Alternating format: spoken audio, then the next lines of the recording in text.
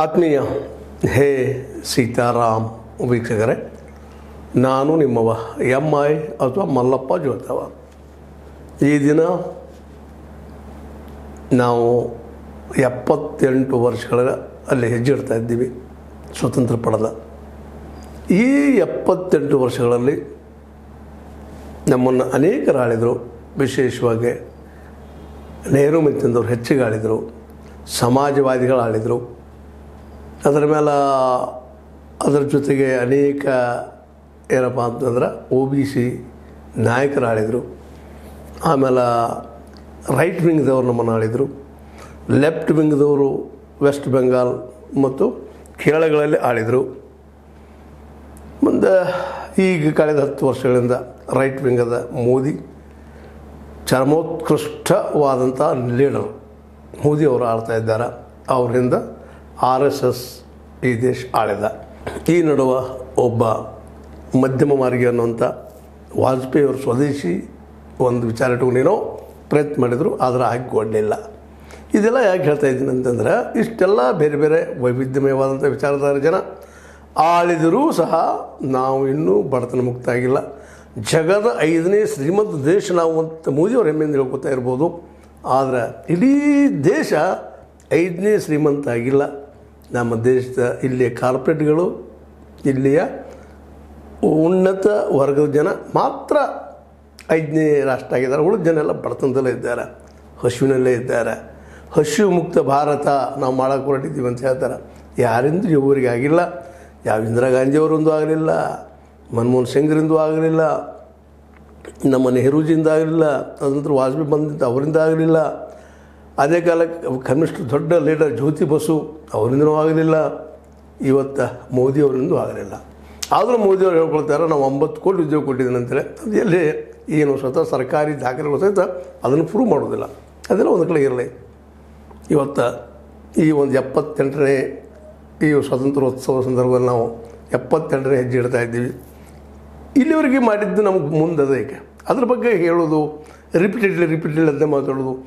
ಗಾಂಧಿಯಲ್ಲಿ ಹುಟ್ಟಿದ್ರು, ಎಲ್ಲಿ ಬೆಳೆದ್ರು ಸ್ವಂತದ ಕೊಟ್ಟರು ಹೋರಾಟಗಾರರು, ಪ್ರಾಮಾಣಿಕರು, ಅಹಿಂಸಾವಾದಿಗಳು, ಹಾಗೆ ಹೀಗೆಲ್ಲ ಮಾತಾಡ್ತೀವಿ ನಾವು. ಅವ್ರ ವಿರೋಧಿಗಳು, ಅವ್ರ ಅಹಿಂಸೆಯಿಂದ ದೇಶ ನಾವು ಹಿಡಿಗಳಾದ್ವಿ. ಹಾಗೆ ಹೀಗೆ ಅಂತ ಅವ್ರು ಮಾತಾಡ್ತಾರೆ. ಇದನ್ನೆಲ್ಲ ಒಂದು ಬದಿಗಿಟ್ಬಿಡೋಣ ಅವ್ರನ್ನ ಈ ನಾಯಕರಿಂದ ಏನಾಯಿತು? ಗಾಂಧೀಜಿಯವ್ರಿಂದ ಏನಾಗಲಿಲ್ಲ? ಸ್ವಂತ ಸಿಕ್ತು, ಅದು ಒಬ್ಬರಿಂದ ಸಿಕ್ಕಿಲ್ಲ, ಬೇರೆ ಜನ ಎಲ್ಲರೂ ಸಿಕ್ತು ಅಂತ ಇವತ್ತು ಬಿ ಜೆ ಪಿಗರು ವಾದ ಮಾಡ್ತಾರೆ. ತಮ್ಮಲ್ಲೂ ಅನೇಕ ಜನ ಈ ದಿಶೆಗೆ ಹೋರಾಟ ಮಾಡಿದರು. ವೀರ್ ಸಾವರ್ಕರ್ ಅಂತ ಬಂದು ಹೋಗಿದಂತ ಅವರು ವಾದ ಮಾಡ್ತಾರೆ. ವಾದ ಮಾಡಲಿ, ಇರಲಿ. ಎಲ್ಲರಿಂದ ಆಗಿದೆ ಸ್ವತಂತ್ರ ಅನ್ನೋದನ್ನು ಒಪ್ಕೊಂಡ, ನಾವು ಬದಿಗಿಟ್ಟ. ನಾವು ಈ ಎಪ್ಪತ್ತು ಎಂಟು ವರ್ಷಗಳಲ್ಲಿ ಅಥವಾ ಎಪ್ಪತ್ತೇಳು ವರ್ಷಗಳಲ್ಲಿ ಯಾಕೆ ನಾವು ಇನ್ನೂ ಆರ್ಥಿಕವಾಗಿ ಭದ್ರಾಗಿಲ್ಲ? ಅಂಬೇಡ್ಕರ್ ಅವರು ಬಯಸಿದ್ರು ನಮಗೆ. ಇಲ್ಲ, ನಾವು, ನಾನು ರಾಜಕೀಯ ಸ್ವತಂತ್ರ ಕೊಟ್ಟೆ ವಿನಃ ನಾನು ಆರ್ಥಿಕ ಸಮಾನತೆ ಕೊಡಲಿಕ್ಕೆ ಆಗಲಿಲ್ಲ. ಅದು ಎಲ್ಲಿವರೆಗೆ ಬರೋದಿಲ್ಲ? ಅಲ್ಲಿವರೆಗೆ ಇದು ಸಮಾನತೆಯ ದೇಶ ಅಲ್ಲ. ಅದರಲ್ಲಿ ಜಾತಿಗಳ ಮೇಲಂತೂ ಸ್ಪಷ್ಟವಾಗಿ ಹೇಳಿಬಿಟ್ಟಿದ್ರು ಅವರು. ಈ ದೇಶಕ್ಕೆ ಮೀಸಲಾತಿಯಿಂದಲೂ ಏನಾಗೋದಿಲ್ಲಪ್ಪ ಅನ್ನೋಂಥ ಮಾತನ್ನು ಆರ್ಥಿಕವಾಗಿ ಬಲಿಷ್ಠ ಆದಾಗ ಮಾತ್ರ ಏನಾದರೂ ಸಾಧನೆ ಮಾಡೋಕ್ಕೆ ಸಾಧ್ಯ ಅಂತೇಳಿ ಅದು ಇವತ್ತಿನವರೆಗೆ ಆಗಲಿಲ್ಲ. ಮುಂದೆ ಆಗ್ತದ ಭರವಸೆಯೂ ಇಲ್ಲ. ಯಾಕಂದರೆ ಆಲ್ರೆಡಿ ನಮ್ಮ ನಿರ್ಮಲಾ ಸೀತಾರಾಮನ್ ಅವರು ತಮ್ಮ ಬಜೆಟ್ ಮಂಡಿಸಿದ್ದಾರೆ. ಅದು ಯಾರ ಪರ ಅನ್ನೋದು ಈಗ ಚರ್ಚೆನೂ ಶುರುವಾಗಿದೆ. ಮತ್ತು ಕಾರ್ಪೊರೇಟ್ ಕಾರ್ಪೊರೇಟ್ಗಳಿಗೆ ಬಂಡವಾಳಶಾಹಿಗಳಿಗೆ ಇಲ್ಲೇ ದುಡ್ಡಿದ್ದ ಜನರಿಗೆ ವ್ಯಾಪಾರಸ್ಥರಿಗೆ ಅನುಕೂಲ ಆಗುವಂಥ ಬಜೆಟ್ ಅದು. ವಿನಃ ಅದನ್ನು ಮತ್ತೇನೂ ಅದರಿಂದ ಲಾಭ ಆಗಲಿಕ್ಕೆ ಸಾಧ್ಯ ಇಲ್ಲ. ಇಲ್ಲೇ ಬಡತನ ಹೋಗ್ಲಿಕ್ಕೆ ಸಾಧ್ಯ ಇಲ್ಲ. ನಿರುದ್ಯೋಗ ನಿವಾರಣೆ ಆಗಲಿಕ್ಕೆ ಸಾಧ್ಯ ಇಲ್ಲ, ಬೆಲೆ ಏರಿಕೆ ಕಡಿಮೆ ಆಗಲಿಕ್ಕೆ ಸಾಧ್ಯ ಇಲ್ಲ ಅಂತೇಳಿ ಘಂಟಾ ಘೋಷವಾಗಿ ಈ ಸಂದರ್ಭದಲ್ಲಿ ಹೇಳಬೇಕಾಗಿದೆ. ಮತ್ತು ನಮ್ಮ ಮೋದಿಜಿಯವ್ರು ಮತ್ತೊಂದು ಭಾಷಣ ಮಾಡ್ತಾರೆ ಉದ್ದ ಭಾಷಣ ಮಾಡ್ತಾರೆ, ತಾಸು ಎರಡು ತಾಸು ಮಾಡೇ ಮಾಡ್ತಾರೆ. ಮಾಡಲ್ಲ ಮತ್ತಷ್ಟು ಹಲವು ಯೋಜನೆಗಳನ್ನು ಘೋಷಣೆ ಮಾಡ್ಬೋದು, ಮತ್ತೇನೋ ಮಾಡ್ಬೋದು. ಆದರೆ ಅವರು ಖಚಿತನೂ ಹೇಳ್ಬೋದು, ಗಾಂಧೀಜಿಯವರ ನೆಲೆಗಟ್ಟಿನಲ್ಲೇ ಈ ದೇಶಕ್ಕೆ ಅರ್ಥವ್ಯವಸ್ಥೆಯನ್ನು ಘೋಷಣೆ ಮಾಡೋಕೆ ಸಾಧ್ಯ ಇಲ್ಲ ಅಂತ ಇಲ್ಲಿವರೆಗೆ ನೋಡಿದಂಥ ಒಂದು ಅನುಭವದ ಮೇಲೆ ಹೇಳುವಂಥ ಮಾತು. ಯಾಕಪ್ಪ ಅಂತಂದ್ರೆ ಗಾಂಧೀಜಿಯವ್ರನ್ನ ಒಂದು ಒಮ್ಮುಖವಾಗಿ ನೋಡ್ತೀವಿ ನಾವು ಸ್ವತಂತ್ರ ಕೊಟ್ಟರು, ಮಾಡಿದರು, ಪ್ರಾಮಾಣಿಕರು, ಒಳ್ಳೆಯವರು, ಹಾಗೆ ಹೀಗೆ. ಅದಕ್ಕೆ ವಿರೋಧವಾಗಿ ಈ ನಮ್ಮ ರೈಟ್ ವಿಂಗ್ದವರು ಅವ್ರ ಬಗ್ಗೆ ಅನೇಕ ವಿಡಿಯೋಗಳು ಮಾಡಿಬಿಟ್ಟಿದ್ದು ನಾವು ನೋಡಿದ್ವಿ. ಅದ್ರ ಬಗ್ಗೆ ಚರ್ಚೆ ಮಾಡೋದ್ರಿಂದಲೂ ಅದನ್ನು ಅಲ್ಲಿಗೆ ಬಿಟ್ಟು ಬಿಡೋದು ಭಾಳ ಉತ್ತಮ. ಅಷ್ಟೇ ಆಗ ಪ್ರಜ್ಞಾ ಠಾಕೂರ್, ಯಾ ಹೆಣ್ಮಗಳು ಗೋಡ್ಸೆಯನ್ನು ಪೂಜಿಸುವಂಥದ್ದು, ಜೊತೆಗೆ ಗೋಡ್ಸೋಪ್ ದೇಶಭಕ್ತ ಅಂತ ಹೇಳುವಂಥದ್ದು, ಅದೇ ಕಾಲ ಗಾಂಧೀಜಿಯವರ ಫೋಟೋಗೆ ಗುಂಡು ಹಾಕುವಂಥ ದೃಷ್ಟಿಕೋನ ಸಹಿತ ನಾವು ನೋಡಿದ್ದೀವಿ ಹೀಗಾಗಿ ಅವ್ರ ವಿಚಾರಧಾರೆ ಬಗ್ಗೆ ಇಲ್ಲಿ ಮಾತಾಡೋಕ್ಕಿಂತಲೂ ಅದನ್ನು ಬದಿಗಿಟ್ಟ ನಾವು ಗಾಂಧೀಜಿಯವ್ರನ್ನ ಬಿಟ್ಟಿದ್ದಕ್ಕೆ ಏನೇನು ಆಯಿತು ಗಾಂಧೀಜಿಯವರ ಐಡಿಯಾದಿಂದ ದೂರ ಸರಿಸೋದಕ್ಕಾಗಿ ಅಂತೇಳಿ. ಮತ್ತು ಇದು ನಾವು ಮೊದಲಿಗೆ ಸ್ಪಷ್ಟಕ ಸ್ಪಷ್ಟೀಕರಣ ನೀಡಬೇಕಾಗ್ತದೆ. ಗಾಂಧೀಜಿಯವರು ನಾವು ಕೇವಲ ಒಬ್ಬ ರಾಜಕೀಯ ವ್ಯಕ್ತಿ ಸ್ವತಂತ್ರ ಕೊಟ್ಟ ಅಹಿಂಸವಾದಿ ಅಷ್ಟೇ ಹೇಳೋದಲ್ಲ. ಅವರು ಈ ದೇಶಕ್ಕೆ ಭಾಳ ದೊಡ್ಡ ಆರ್ಥಿಕ ನೀತಿಯನ್ನು ಕೂಡ ಅವರಿದ್ದರು, ಕೊಟ್ಟಿದ್ದರು ಕೊಡುವ ಎಲ್ಲ ದೃಷ್ಟಿಗಳಿದ್ದರು ಅವರಲ್ಲ.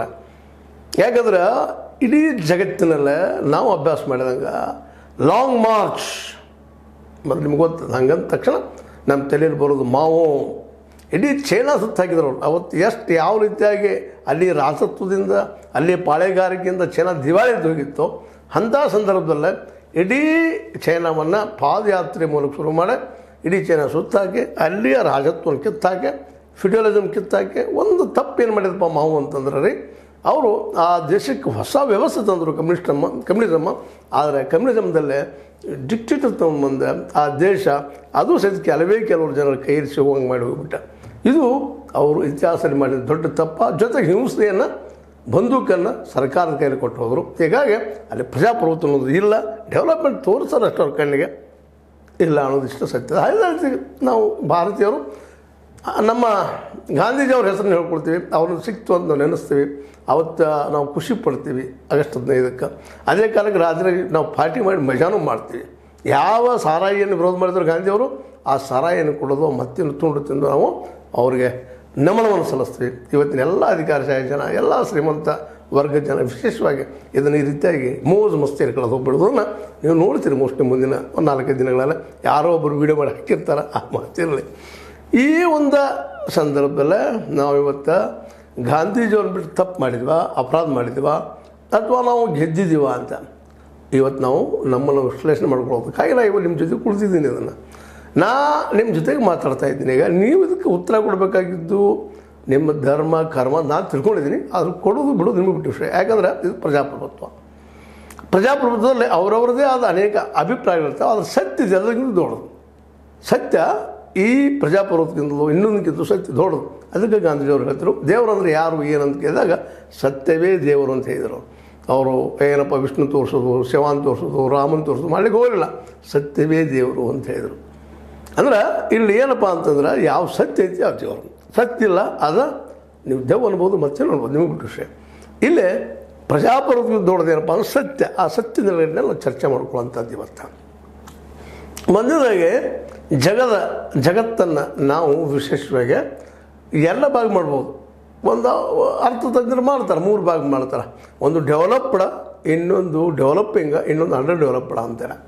ಅದನ್ನ ಥರ್ಡ್ ವರ್ಲ್ಡ್ ಕಂಟ್ರಿದು ಕರ್ಕೋಬೋದು. First world second world third world ಅಂತ ಮಾಡ್ತಾರೆ ಡಿವಿಷನ್ ಇದೆಲ್ಲದಕ್ಕಿಂತ ಮುಖ್ಯವಾಗಿ ಈ ಜಗತ್ತ ಡಿವೈಡ್ ಆಗೋದು ರಾಜಕೀಯವಾಗಿ ಅಂತ ಹೇಳಿದ್ರೆ ನಿಮಗೆ ಸಮಾಜವಾದ ಕಮ್ಯುನಿಸಮ್ಮ ನೂರ ಎಂಟಿಸಮ್ಗಳು ಮಾಡಿಕೊಂಡು ಏನಪ್ಪ ಅಂದರೆ ಕೊನೆಗಿಲ್ಲಪ್ಪ ಪ್ರಜಾಪ್ರಭುತ್ವ ದೊಡ್ಡದು ಎಲ್ಲರೂ ಸಮಾನರಾದಲ್ಲಿ ಇರ್ಲಿಕ್ಕೆ ಸಾಧ್ಯ ಅನ್ನೋದು ಡಿಸೈಡ್ ಆದಂಥ ವಿಷಯ. ಇನ್ನು ಆರ್ಥಿಕವಾಗಿ ಬಂದಾಗ ಶ್ರೀಮಂತ ಬಡವ ಎರಡ. ಶ್ರೀಮಂತ ಆಗೋ ಕಾರಣ ಏನು? ಬಡವಾಗೋದು ಕಾರಣ ಏನು ಇವೆರಡುಗಳನ್ನು ನಾವು ಇವತ್ತು ಚರ್ಚೆ ಮಾಡ್ಕೋಬೇಕಾಗಿದೆ ಅಂದಾಗ ನಮಗೆ ಸ್ಪಷ್ಟ ಆಗ್ತದೆ. ಅದಕ್ಕಿಂತ ಮುಖ್ಯವಾಗಿ ಅಭಿವೃದ್ಧಿ ಅಂದರೆ ಏನು? ಇವತ್ತು ನಮ್ಮ ಮೋದಿ ಅವರು ಬಂದಾಗಿಂದ ಹೇಳ್ತಾ ಇದ್ರು. ಆ ಎರಡು ಸಾವಿರದ ಹದಿನಾಲ್ಕರ ಸ್ಟಾರ್ಟ್ ಮಾಡಿದಾಗ ಅಭಿವೃದ್ಧಿ ಅಂತ ಶುರು ಮಾಡಿದರು? ಇವತ್ತು ಏನು ಅಭಿವೃದ್ಧಿ ಮಾಡಿದರು ಅನ್ನೋದು ಸಹಿತ ಇವತ್ತು. ಒಂದು ಪ್ರಶ್ನಾರ್ಹ ಚಿಹ್ನೆ ಅವ್ರ ಮೇಲೆ ಅದ ಅದಕ್ಕೆ ಜನ ಬೇಸತ್ತಿ ಸಲ ಅವ್ರು ಪೂರ್ಣ ಬಹುಮತ ಕೊಟ್ಟಿಲ್ಲ ಅನ್ನೋ ಸಹಿತ ನಮ್ಮ ಕಣ್ಣು ಮುಂದೆ ಅದ. ಯಾಕಪ್ಪ ಅಂತಂದ್ರೆ ಎರಡು ನೂರ ಎಪ್ಪತ್ತೆರಡು ಸೀಟಿನ ಸಹಿತ ಗೆಲ್ಲಲಿಕ್ಕೆ ಆಗಲಿಲ್ಲ ಅಂದಾಗ ಜನ ಅವರಿಂದ ಭ್ರಮನಿರಸನಗೊಂಡಿದ್ದಾರೆ ಮನ್ ಕಿ ಬಾತನ್ನು ದೂರ ಸರಿಸಿದ್ದಾರೆ. ಅವ್ರ ಮನಸ್ಸಿನ ಮಾತು ಮಾತಾಡ್ತಾರೆ. ನಮ್ಮ ದೇಶದ ಜನರ ಮನಸ್ಸಿನ ಮಾತನ್ನು ಇವರು ಮಾತಾಡೋದಿಲ್ಲ ಅನ್ನೋದು ಸ್ಪಷ್ಟ ಅಭಿಪ್ರಾಯ ಹೋಗ್ಯದ. ಇದು ಇನ್ನೊಂದು ಕಡೆ ಇರಲಿ. ನಾನು ಯಾಕೆ ಈ ಮಾತನ್ನು ಹೇಳ್ತಾ ಇದ್ದೀನಿ ಅಂದರೆ ಲಾಂಗ್ ಮಾರ್ಚ್ ಮಾವು ಅವರು ಮಾಡಿದರು. ಅಲ್ಲಿ ಕಮಿಟಿ ಸ್ಥಾಪಿಸಿದರು. ಆದರೆ ಅದೇ ಕಡೆ ಡಿಕ್ಟೇಟರಾಗಿ ಹೋಗಿಬಿಡ್ತು. ಆದರೆ ನಮ್ಮಲ್ಲೂ ಲಾಂಗ್ ಮಾರ್ಚ್ ಮಾಡಿದರು. ಅದು ಗಾಂಧಿಯವರು. ಅವ್ರ ನಂತರ ಮಾಡಿದವರು ಚಂದ್ರಶೇಖರ್ ಅವರು. ಈಗ ಮಾಡಿದವರು ರಾಹುಲ್ ಗಾಂಧಿ ಅವರು. ಲಾಂಗ್ ಮಾರ್ಚ್ ಅಂದರೆ ದೀರ್ಘವಾಗಿ ಅಡ್ಡಾಡೋದು. ದೂರ ತನಕ ಅಡ್ಡಾಡೋದು. ಪಾದಯಾತ್ರೆ ಮಾಡು. ಆ ಒಂದು ಸಾಹಸವನ್ನು ಗಾಂಧೀಜಿಯವರು ಒಮ್ಮೆಲ್ಲ ಎರಡಲ್ಲ, ಮೂರು ಸಲ ಮಾಡಿದ್ದಾರೆ ಅಂತ ಇತಿಹಾಸ ಪುಟಗಳು ನಮಗೆ ಗೊತ್ತಾಗ್ತದೆ. ಅವ್ರು ಎಲ್ಲಿ ಹುಟ್ಟಿದ್ರು, ಅವರ ಅಪ್ಪ ಯಾರು, ಹೆಂಗೆ ಬೆಳೆದ್ರು, ದಕ್ಷಿಣ ಆಫ್ರಿಕಾದಾಗ ಏನು ಮಾಡಿದ್ರು, ಅಲ್ಲಿ ಹೆಂಗೆ ಅಪ್ ಮಾಡಿದ್ರು ಯಾಕೆ ಅವರು ಈ ಒಂದು ಮೀಸಲಾತಿ ತರಲಿಕ್ಕೆ ಪ್ರಯತ್ನ ಮಾಡಿದರು, ಯಾಕೆ ಈ ಜಾತಿ ಪದ್ಧತಿ ವಿರೋಧಿಗಳಾದರು, ಯಾಕೆ ಧರ್ಮದ ಲಂಡರಾಗಲಿಲ್ಲ ಅನ್ನೋದಕ್ಕೆ ಉತ್ತರ ಹುಡ್ಕೊಳ್ಳೋದು ಬೇಕಾಗಿಲ್ಲ. ಅವೆಲ್ಲ ಸಾಕಷ್ಟು ಜನ ಈಗಾಗಲೇ ಕೆಲಸ ಮಾಡಿದ್ದಾರೆ. ಮಾಡ್ತಾನೂ ಇದ್ದಾರೆ ಈಗಾದರೂ ಅದನ್ನ ಮಾತಾಡ್ತಾರೆ? ಹೌದು, ಅಹಿಂಸಾ ಮೂರ್ತಿ ಹಂಗೆ. ಅಂದಾಗ ಅವ್ರ ವಿರೋಧಿಗಳು ಹೇಳ್ತಾರೆ ಈಗ ಅವ್ರಿಗೆ ಜಾಳೋಕ್ಕೆ ಶಕ್ತಿ ಇರಲಿಲ್ಲ, ಹೋರಾಟ ಮಾಡೋಕ್ಕೆ ಶಕ್ತಿ ಇರಲ್ಲ ಅದಕ್ಕೆ ಅಹಿಂಸಾ ಮಾರ್ಗ ಇಟ್ಟೋದ್ರು ಅನ್ನೋಂಥ ಮಾತ್ರ ವಾದ ಮಾಡ್ತಾರೆ. ಅದು ಸಾಕಷ್ಟು ಚರ್ಚೆ ಆಗಿದೆ. ಅದು ಅದು ಇವತ್ತು ಮುಖ್ಯ ಅಲ್ಲ. ನಾವು ಇವತ್ತು ಈ ನಮ್ಮ ದೇಶದಲ್ಲಿ ಎರಡು ಮುಖ್ಯ ಭಾಗ ಮಾಡ್ಕೊಳ್ತೀವಿ. ಒಬ್ಬ ಅತ್ಯಂತ ಶ್ರೀಮಂತ, ಇನ್ನೊಬ್ಬ ಬಡವ. ಅದಕ್ಕೆ ಉತ್ತರ ಹೊಡೋದಕ್ಕಾಗಿನ ಏನಪ್ಪ ನಿಮ್ಗೆ ಹೇಳಿದ್ವಿ ಲಾಂಗ್ ಮಾರ್ಚ್ ಮಾಡಿದ್ನಿ. ಅಲ್ಲೇ ಲಾಂಗ್ ಮಾರ್ಚ್ ಮಾಡಿಸಿದ್ರು ಸಹಿತ ಚೈನಾದಲ್ಲೇ ಒಂದು ಕಡೆ ಅಧಿಕಾರಶಾಹಿ ವರ್ಗ, ಶ್ರೀಮಂತ ವರ್ಗ ಒಂದು ಕಡೆ ಆದ್ರೆ ಇನ್ನೊಂದು ಕಡೆ ಬಡವರು ದುಡಿಯುವ ವರ್ಗದವರು, ಅವರು ಒಂದು ಕಡೆ ಉಳಿದ್ರು. ಅದೇ ರೀತಿಯಲ್ಲಿ ಉಳಿತು ಅಂತ. ಅಂತ ದೊಡ್ಡ ಸಿದ್ಧಾಂತ ಸಹಿತ ಅಲ್ಲಿ ಸೋತೋಗಿಬಿಡ್ತದೆ ಯಾವ ಒಂದು ಮಾರ್ಕ್ಸಿಂದ ಬಂದಂಥ ಮಾ ಕಮ್ಯುನಿಸಮ್ ಅಲ್ಲಿ ಸೋಲ್ತದೆ. ಯಾಕಂದ್ರೆ ಪ್ರಾಕ್ಟಿಕಲಾಗಿ ಬಂದಿದ್ದು ಚೈನಾದಲ್ಲಿ ಮತ್ತು ರಷ್ಯಾದಲ್ಲಿ ಅಥವಾ ಸೋವಿಯತ್ ಯೂನಿಯನ್ದಲ್ಲಿ ಎರಡೂ ಕಡೆ ಸೋಲ್ತದೆ ಯಾಕೆ ಸೋಯ್ತು ಅಂತಂದರೆ ಅಧಿಕಾರ ದಾಹ ಮತ್ತು ಅದರ ಜೊತೆಗೆ ಏನಪ್ಪ ಅಂತಂದ್ರೆ ಅದನ್ನು ಸರಿಯಾಗಿ ಅನುಷ್ಠಾನಗೊಳಿಸದೇ ಇದ್ದಿದ್ದು. ಅದೇ ರೀತಿ ನಮ್ಮ ಭಾರತವನ್ನು ಸುತ್ತಾಗಿದ್ದ ಗಾಂಧೀಜಿಯವರು ಸಹಿತ ಅವರು ಸೋತರು. ಎಲ್ಲಿ ಸೋತರು? ತಿರುಗಿದ್ರು, ಅಡ್ಡಾಡಿದ್ರು, ಜನರ ಅಭಿಪ್ರಾಯ ತಿಳ್ಕೊಂಡ್ರು, ಜನರ ನೋವುಗಳನ್ನು ತಿಳ್ಕೊಂಡ್ರು ಇದು ಸಮಸ್ಯೆ ಏನಂತ ತಿಳ್ಕೊಂಡ್ರು, ಅದಕ್ಕೆ ಪರಿಹಾರ ಹುಡುಕೋದಕ್ಕಾಗೇನ ಅವರು ಒಂದು ದೊಡ್ಡ ಒಂದು ವಿಚಾರವನ್ನು ಹೇಳ್ತಾರೆ? ಗ್ರಾಮ ರಾಜ್ಯ. ಗ್ರಾಮವೇ ರಾಜ್ಯ ಆಗಬೇಕು. ಇದನ್ನು ನಾವು ಅರ್ಥನ ಮಾಡ್ಕೊಳ್ಳಿ ಇವತ್ತಿಗೂ ಸಹಿತ. ಇವತ್ತು ಮಾಡ್ಕೊಂಡಿವಿ, ಅದರಲ್ಲಿ ಭ್ರಷ್ಟ ಸೇರಿಬಿಟ್ರು. ಅದು ವ್ಯವಸ್ಥೆ ಕೆಟ್ಟು ಹೋಗಿಬಿಟ್ಟಿದೆ ಇವತ್ತು. ಗ್ರಾಮ ರಾಜ್ಯ, ಅವರು ಹೇಳಿದಂಥ ಗ್ರಾಮ ರಾಜ್ಯ ಇವತ್ತು ಉಳಿದಿಲ್ಲ. ಗ್ರಾಮ ಸ್ವರಾಜ್ ಅನ್ನುವಂಥ ಮಾತ? ರಾಮ ರಾಜ್ಯ ಅಂತ ನಾವೇನು ಮಾಡಿದ್ದೀವಿ ಕನಿಷ್ಠರು ಭಾಳ ತಪ್ಪು ಮಾಡಿದ್ರು ಇತಿಹಾಸದಲ್ಲಿ ಗಾಂಧೀಜಿಯವರು ರಾಮ ರಾಜ್ಯ ತಂದಾಗ ಇವು ಏನು ದೈವತ್ವದ ಒಂದು ತರಲಿಕ್ಕೆ ಇತ್ತಿದಾರಪ್ಪ ಗಾಂಧಿ ಅಂತ. ಬಟ್ ನಮ್ಮ ದೇಶದ ಮನಸ್ಥಿತಿಯಲ್ಲಿ ಏನಿತ್ತಪ್ಪ ಅಂದ್ರೆ ದೈವದ ಮೇಲೆ, ದೇವರ ಮೇಲೆ ಇದ್ದಂಥ ನಂಬಿಕೆ ಇನ್ನೊಂದು ಮೇಲೆ ತಮ್ಮ ಸ್ವಂತ ತಂದೆ ತಾಯಿಗಳ ಮೇಲೆ ಸಹಿತ ಇಲ್ಲದನ್ನು ನಾವು ಗಮನಿಸ್ತೀವಿ. ಅದಕ್ಕಾಗಿ ಗಾಂಧೀಜಿಯವರು ಅರ್ಥ ಮಾಡಿಕೊಂಡು ದೈವತ್ವನ ಮುಂದಿಟ್ಟುಕೊಂಡು ರಾಮರಾಜ್ಯದ ಸಮಾನತೆಯ ರಾಜ್ಯ. ಎಲ್ಲರೂ ಸಮಾನರು. ಅಲ್ಲಿ ಜಾತಿ ಇಲ್ಲ, ಮೇಲ್ಧರ್ಮ ಇಲ್ಲ, ಕೆಳಧರ್ಮ ಇಲ್ಲ, ಎಲ್ಲರೂ ಒಂದು. ಜಾತ್ಯಾತೀತರು ಅನ್ನುವಂಥ ಮನೋಸ್ಥಿತಿ ಅಲ್ಲಿತ್ತು. ಹಿಂಗಿದ್ದಾಗ ಮಾತ್ರ ನಾವು ಒಬ್ಬರಿಗೂ ಮಾಡ್ಕೊಂಡು ಹೋಗೋಕ್ಕೆ ಸಾಧ್ಯ ಅನ್ನುವಂಥ ಭಾವನೆ ಅಥವಾ ಒಂದು ದೃಢ ಸಂಕಲ್ಪ, ದೃಢ ವಿಚಾರ ಗಾಂಧೀಜಿಯವ್ರದ್ದಾಗಿತ್ತು ಅನ್ನೋದನ್ನು ನಾವು ಎಂದೂ ಮರೆಯಬಾರ್ದು. ಯಾಕಪ್ಪ ಅಂದ್ರೆ ಗಾಂಧೀಜಿಯವರು ಅವರ ಆ ಒಂದು ಏನಪ್ಪ ಅಂದ್ರೆ ಪ್ರಾರ್ಥನಾ ಪದ್ಯದಲ್ಲೇ ನಿಮ್ಗೆ ಗೊತ್ತದ. ಈಶ್ವರ ಅಲ್ಲ, ತೇರೇ ನಾಮ್ ಸಬ್ಗೋ ಸನ್ಮತಿ, ಧೇ ಭಗವಾನ್. ಈ ಮಾತುಗಳ ಕೇವಲ ಮೇಲ್ಪದ್ರಾಗ ಬಂದಂಥವಲ್ಲ ಹೃದಯಾಂತರಾಳದ ಮೇಲೆ ಬಂದಂಥ ಮಾತುಗಳು ಅದನ್ನು ಅನ್ನೋದನ್ನು ನಾವು ಎಂದಿಗೂ ಮರೆಯಬಾರ್ದು ಅದನ್ನು. ನಾ ಹಿಂಗೆ ಹೇಳಿದ್ರೆ, ಏ, ಇವರು ಗಾಂಧಿವಾದಿ ಅದಕ್ಕೆ ಹಂಗೆ ಮಾತಾಡುತ್ತೆ ನಾ ಯಾವ ವಾದಿನೂ ಅಲ್ಲ. ಗಾಂಧಿವಾದಿನೂ ಅಲ್ಲ, ಮಾರ್ಕ್ಸ್ವಾದಿನೂ ಅಲ್ಲ, ಸಮಾಜವಾದಿನೂ ಅಲ್ಲ, ನೆಹರುವಾದಿನೂ ಅಲ್ಲ ಇವತ್ತಿನ ಈ ನಮ್ಮ ಮೋದಿವಾದಿನೂ ಅಲ್ಲ. ಯಾರು ವಾಜಿನೂ ಅಲ್ಲ, ಯಾರು ಫಾಲೋವರು ಅಲ್ಲ. ಸತ್ಯ ಇರೋದು ಅದು ಹೇಳೋದು ಪ್ರಯತ್ನ ಮಾಡೋದು ಒಬ್ಬ ಸಾಮಾನ್ಯ ನಿಮ್ಮ ವ್ಯಕ್ತಿ. ನಾವು ಒಂದು ಎರಡು ಅಕ್ಷರ ಹೆಚ್ಚು ಓದಿರ್ಬೋದು, ಇನ್ನು ಕೆಲವೊಬ್ಬರು ಒಂದೆರಡು ವಿಚಾರಗಳನ್ನು ಕಡಿಮೆ ಓದಿರ್ಬೋದು. ಆ ಮಾತು ಬೇರೆ. ಆದರೆ ನಾನು ಕಂಡುಕೊಂಡ ಸತ್ಯಗಳು ಜೊತೆಗೆ ಇವತ್ತು ಮಾರ್ಕ್ಸ್ ಅವರು ಕಂಡುಕೊಂಡ ದೃಶ್ಯಗಳು ಮಾರ್ಕ್ಸ್ ಸಹಿತ ಪರ್ಫೆಕ್ಟ್ ಅಂತ ವೈಜ್ಞಾನಿಕ ಸಿದ್ಧಾಂತವನ್ನು ಆರ್ಥಿಕ ಸಿದ್ಧಾಂತವನ್ನು ಜಗತ್ತಿಗೆ ಕೊಡಲಿಕ್ಕೆ ಆಗಲಿಲ್ಲ. ಅದ್ರ ಬಗ್ಗೆ ಭಾಳಷ್ಟು ವಾದ ಮಾಡ್ತಾರೆ. ಏ ಭಾಳ ಸೈಂಟಿಫಿಕ್ ಇತ್ತು ರೀ ಅದು ಅನುಷ್ಠಾನಗೊಳಿಸ್ಬೇಕು. ಹಾಗಾದ್ರೆ ರಷ್ಯಾದಲ್ಲೇ, ಹಾಗಾದ್ರೆ ಯು ಎಸ್ ಸೋವಿಯತ್ ಯೂನಿಯನ್ದಲ್ಲ ಹಾಗಾದ್ರೆ ಚೈನಾದಲ್ಲಿ ಯಾಕೆ ಸೋಯ್ತಪ್ಪ ಅದು? ಅಲ್ಲಿ ಯಾಕೆ ಡಿಕ್ಟೇಟರ್ ಬೆಳೆದ್ರು? ಯಾಕೆ ಅಲ್ಲಿ ಒಂದು ಕಡೆ ಆರ್ಥಿಕತೆ ಉಳಿತು? ಇದು ಗೊತ್ತಿರಲಿಲ್ಲ. ಅದಕ್ಕಾಗಿ ಇವತ್ತು ನಾವು ಗಾಂಧೀಜಿಯವರ ಘಟನೆಯಲ್ಲಿ ಈ ಒಂದು ಎಪ್ಪತ್ತೆಂಟನೇ ವರ್ಷ ಸಂದರ್ಭದಲ್ಲಿ ಒಂದೆರಡು ಮಾತುಗಳು ಮಾತಾಡಬೇಕಾಗಿದೆ ನಮ್ಗೆ ಬಡತನಕ್ಕೆ ಕಾರಣ ಏನು ಅನ್ನೋದಕ್ಕಾಗಿ. ಯಾಕಪ್ಪ ಅಂತಂದ್ರೆ, ನಾವು ಅಭಿವೃದ್ಧಿಯನ್ನು ಮೊದಲು ತಪ್ಪು ತಿಳ್ಕೊಂಡಿವಿ. ಯಾಕೆ ತಪ್ಪು ತಿಳ್ಕೊಂಡಿವಿ ಅಂದರೆ, ನಮ್ಮನ್ನು ಆಳುತ್ತಿದ್ದಂಥವರು ಯುರೋಪಿಯನ್ರು, ಬ್ರಿಟಿಷರು, ಫ್ರೆಂಚರು, ಇವರೆಲ್ಲರೂ. ಇವರು ಡೆವಲಪ್ಮೆಂಟ್ ಅಂದರೆ ಏನಪ್ಪ ಅಂದರೆ, ಒಬ್ಬರನ್ನ ಬಳಿದು ಅವ್ರು ದುಡ್ಡು ಕಸ್ಕೊಳ್ಳೋದು ಆಳೋದು, ಆ ದುಡ್ಡಿನೊಳಗೆ ಮಜಾ ಮಾಡೋದು. ಅದು ನಾವು ನೋಡಿ, ಇದೇ ಮಜಾಪ್ಪ ಅಂತ ಸಾರಾಯಿ ಕುಡಿದು, ಅಥವಾ ಗಂಡು, ಹೆಣ್ಣು ಹೆಣ್ಣು ಗಂಡು ಡ್ಯಾನ್ಸ್ ಮಾಡೋದು ಮಧೋನ್ಮತ್ತರಾಗೋದು ನಮ್ಮಲ್ಲಿ ಅಂತ ಇತಿಹಾಸ ಅದ ನಮ್ಮ ಭಾರತ ಇತಿಹಾಸದಲ್ಲಿ ಅಂತ ಪುರಾಣ ಪುಣ್ಯಗಳು ಸಾಕಷ್ಟು ಇದ್ದಾವೆ ಸಾರಾಯಿ ದೇವಲೋಕದಲ್ಲಿ ಹುಟ್ಟಿದ್ದು ಅನ್ನುವಂಥ ನಾವು ಮಾತಾಡ್ತೀವಿ. ಅದರ ಬಗ್ಗೆ ಸಾಕಷ್ಟು ಪೌರಾಣಿಕ ಇವು ಮಿತ್ತುಗಳಿದ್ದಾವೆ ಅಥವಾ ನಂಬಿಕೆಗಳಿದ್ದಾವೆ. ಇಂದ್ರ, ಸುರಾಪಾನ ಇವೆಲ್ಲವೂ ನಾವು ಆಯುಷ್ಯಾರಾಮ್ ಜೀವನ ಕಳಿಬೇಕು ಅನ್ನುವಂಥದ್ದು. ಇವಕ್ಕೆ, ಈಗೆಲ್ಲದಕ್ಕೂ ಮೂಲ ನಮ್ಮಲ್ಲಿ ಇದ್ದರೂ ಸಹಿತ ಇಲ್ಲಿಯೇ ಒಂದು ಎಲ್ಲ ವ್ಯವಸ್ಥೆ ತಮ್ಮ ಕೈಯಾಗಿ ತೊಗೊಂಡಂಥ ಜನ ಇದನ್ನ ಮಾಡೋದು ನೋಡಿಕೊಂಡು ನಾವೆಲ್ಲನೂ ಇದಪ್ಪ ಸುಖ, ಇದೇ ಸಂತೋಷ. ಇದು ಬಿಟ್ಟು ಮತ್ತೊಂದಿಲ್ಲ. ಸುರಾಪಾನ ಮಾಡೋದು ಆ ಮಧ್ಯ ಮೌಸ್ ತಿನ್ನೋದು ಮತ್ತು ಮಜಾ ಡ್ಯಾನ್ಸ್ ಮಾಡ್ತಾ ಹೋಗುವಂಥದ್ದು, ಸುಖ ಪಡೋದು, ಇದೇ ನಮ್ಮದಪ್ಪ ಇದಕ್ಕಿಂತ ದೊಡ್ಡ ಯಾವುದೂ ಇಲ್ಲ ನಾವೆಲ್ಲರೂ ಒಂದು ಭ್ರಮೆಗೊಳಗಾಗಿ ಕಾರ್ ಗಾಡಿಯಲ್ಲಿ ಅಡ್ಡಾಡಿದ್ರೆ ಅಭಿವೃದ್ಧಿ. ಬಸ್ ಅಲ್ಲ ಬಸ್ನಾಗ ಅಡ್ಡಾಡಿದ್ರೆ ಸಾಮಾನ್ಯ ಜನಪ್ಪ ಅಂತ ಭಾವನೆ. ವಿಮಾನದಲ್ಲಿ ಅಡ್ಡಾಡೋದು, ಸೂಪರ್, ಮತ್ತು ಇದರಲ್ಲಿ ರೈಲ್ವೆಗಳಲ್ಲಿ ಅಡ್ಡಾಡೋದು, ಇವೆಲ್ಲ ಒಳ್ಳೊಳ್ಳೆ ದೊಡ್ಡ ದೊಡ್ಡ ಬಿಲ್ಡಿಂಗ್ಗಳು ಕಟ್ಕೊಳ್ಳು ಇದೆಲ್ಲ ಯುರೋಪದ ಯುರೋಪಿಯನ್ನರ ನಮ್ಮಲ್ಲಿ ಮೇಲ್ವರ್ಣೀಯ ಜನರ. ಯಾಕಂದ್ರೆ ಅವ್ರ ಕಡೆ ಇಡೀ ಒಂದು ಸಮಾಜದ ಆಸ್ತಿ ತಾವು ತೆಗೆದುಕೊಂಡು ಬಿಡ್ತಿದ್ರು. ನಮ್ಮಲ್ಲಿ ನಿಮಗೆ ಗೊತ್ತಿಲ್ಲ ಒಬ್ಬೊಬ್ಬರು ನೂರು ನೂರು ಎಕರೆನೋ ಸಾವಿರ ಸಾವಿರ ಎಕರೆ ಎಕರೆನೋ ಇಲ್ಲಿ ಪಾಳೆಗಾರರಿದ್ದರು ಯಾರನ್ನೂ ಹೊಡ್ಕೊಂಡು ತೊಗೊಂಡು ಹೋಗ್ತಿದ್ರು. ಅವ್ರಿಗೆ ರೊಕ್ಕದ ಮೇಲೆ ಇರ್ತಿರಲಿಲ್ಲ. ಅವರು ಬದುಕನ್ನು ನೋಡ್ಕೊಂಡು ನಾವು ತಯಾರಾಗುವಂಥವ್ರು. ನಾವು ಅವ್ರಿಗೆ ಆಗಬೇಕು ಅಂತೇಳಿ. ಡಿ ಸಿ ಎಲ್ಲರೂ ಕೇಳ್ತಾರೆ ಅದು ನಾವು ಡಿ ಸಿ ಆಗಬೇಕು. ಅನ್ನುವಂಥ ಮನೋವೃತ್ತಿ. ಒಬ್ಬ ರಾಜ ಅಥವಾ ಅದಕ್ಕಿಂತ ಹೆಚ್ಚಿನವರೇ ಅವರು ಎಲ್ಲರೂ ಹೇಳಿದಂಗೆ ಕೇಳ್ತಾರೆ, ನಾನು ಹಂಗೆ ಆಗಬೇಕು. ಅಂದ್ರೆ ನಾಲ್ಕು ಮಂದಿ ಬಡದಾದರೂ ನಮ್ಮ ಮುಂದೆ ಹೋಗ್ಬೇಕು ಅನ್ನುವಂಥ ಇದನ್ನು ನಾವು ಅಭಿವೃದ್ಧಿ ತಿಳ್ಕೊಂಡ್ವಿ. ಅದ್ರ ಮೇಲ್ಪಟ್ಟ ಯುಹೋ ನಮ್ಮಲ್ಲಿ ಯುರೋಪಿಯನ್, ಅದರಲ್ಲೂ ಬ್ರಿಟನ್, ಬ್ರಿಟನ್ರ ದೇಶದಿಂದ ಬ್ರಿಟಿಷರು ಬಂದ, ನಮ್ಮನ್ನು ಆಳಿದ್ರಿಂದಾಗಿ ನಾವು ಅಮೇರಿಕನ್ರನ್ನ, ಬ್ರಿಟಿಷರನ್ನ, ಯುರೋಪಿಯನ್ರನ್ನ ನೋಡಿದ ಮೇಲತ್ತ ನಮ್ಮ ಇದು ಅಭಿವೃದ್ಧಿ. ನಾವು ಇಲ್ಲೇ ತಪ್ಪು ತಿಳ್ಕೊಂಡು ಬಿಟ್ವಿ ಇಲ್ಲೇ ಅಪರಾಧಿ ತಪ್ಪು ಮಾಡಿದ್ವಿ ನಾವು. ಯಾಕಂದ್ರೆ ಸುಖ, ಸಂತೋಷ, ನೆಮ್ಮದಿ ಅನ್ನುವಂಥದ್ದು. ಬರೀ ಇಸ್ರಲ್ಲಿ ಅಲ್ಲ ಅನ್ನೋದು ನಮ್ಗೆ ಅರ್ಥ ಇವತ್ತಿಗೂ ಆಗಿಲ್ಲ. ಇವತ್ತಿಗೂ ಸಹಿತ ಈ ದೇಶದಲ್ಲೇ ತೊಂಬತ್ತು ಪರ್ಸೆಂಟೇಜ್ ಜನ ಬಡವರು, ಬಡವರಾಗಿ ಉಳಿದ ಕಾಲ ಏನಪ್ಪ ಅಂತಂದ್ರೆ ಸರಿಯಾಗಿ ಅರ್ಥ ಮಾಡಿಕೊಳ್ಳದೆ ಅಭಿವೃದ್ಧಿ ಅನ್ನುವಂಥದ್ದು.